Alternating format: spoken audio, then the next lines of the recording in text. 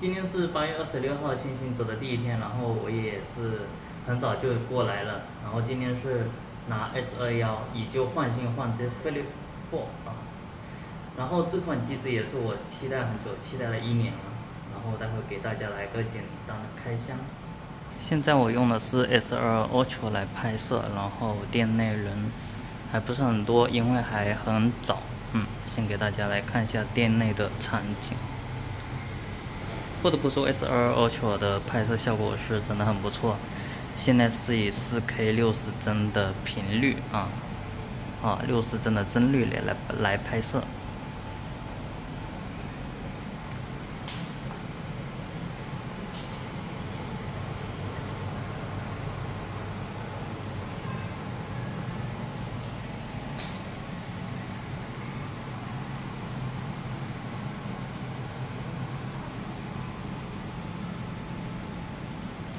心系天下，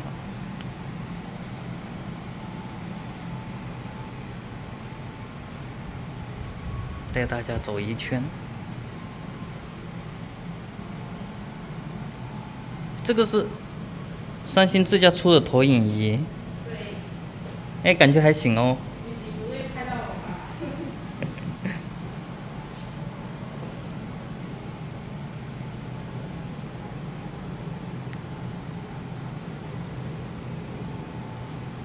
在家里有个小剧场也挺好的。这是之前老款的 S 二幺，原厂膜一直都没有撕过啊，保护的很好，因因因为一般没用的时候都放在手机包里面。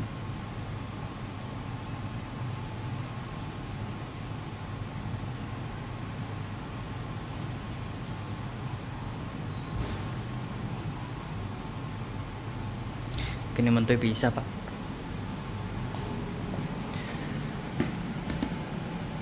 右边呢是 S 二二的紫色，左边是 S 二幺的紫色，然后这一边，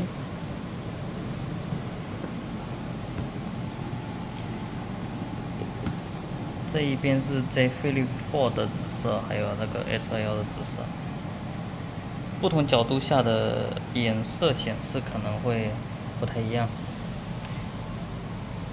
这个会偏更淡紫一点，不会那么浓艳。还有一点，之前一直想说的是，从 S 二开始呢，它变得更宽了啊，然后呢，这个边框呢也变成直角了，也就是有点像 iPhone 的样子，iPhone 十三 Pro 那样。其实我挺喜欢这个 S 二二的粉色的。但是视频拍起来并没有那么明显，啊，居然拍成白金色了，这个明显就是粉色嘛。我不知道是 S 二 Ultra 的调教问题呢，还是我这里光线的问题。总之这个粉色呢是挺好看的，樱花粉。然后接下来就是激动人心的时候了。你看到这里，等一下他紧张。不会。然后我们先看一下这个配件盒里面有什么，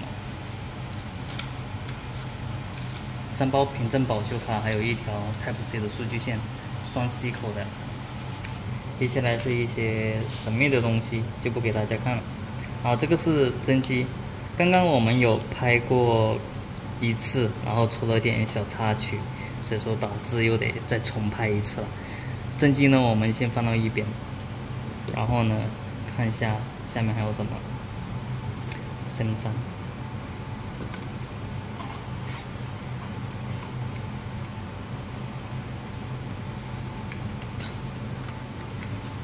哎，我没想到他这次还送了一个充电头哎，而且还是快充，应该是二十五瓦吧。对。然后这边。对。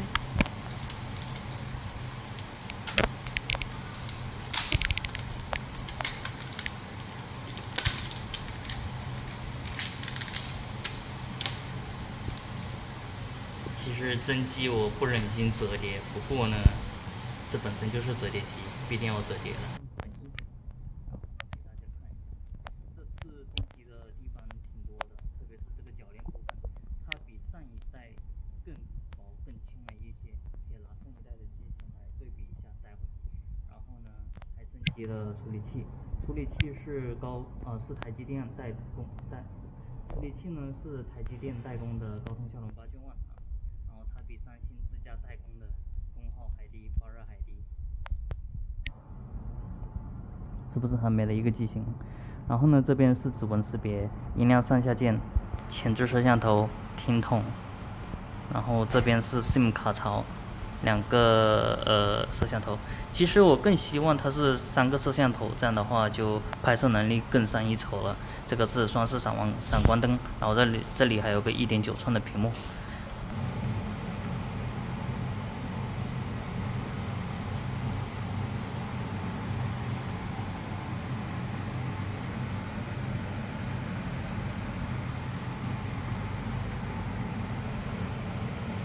下一步。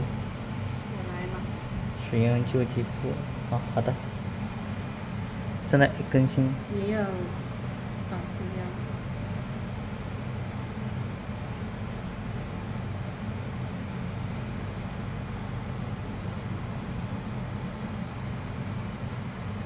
你要点一下这一步没开好，那你就拿。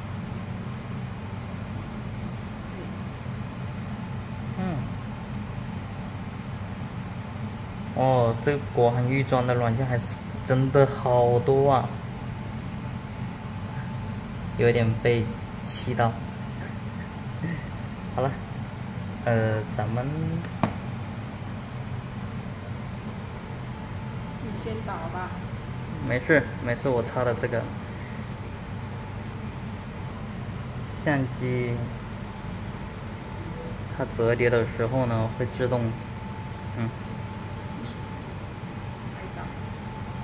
非常 nice。